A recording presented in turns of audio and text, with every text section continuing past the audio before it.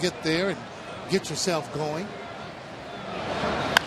Iannetta scalds one to left center field.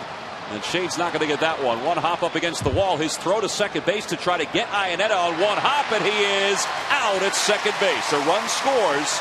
It's 7 2 Colorado.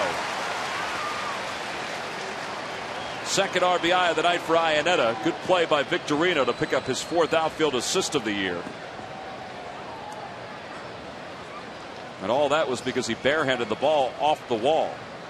I tell you what, as he does a little limping out there in the outfield, Victorino, they sure are testing that leg. He gets it one hand, throws the